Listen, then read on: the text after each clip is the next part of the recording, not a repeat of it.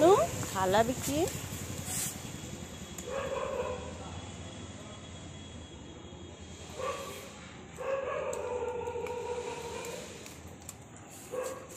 और खाने देखिए इतने सारे बिक्की बेच के बैठे चलो। ये शौक करने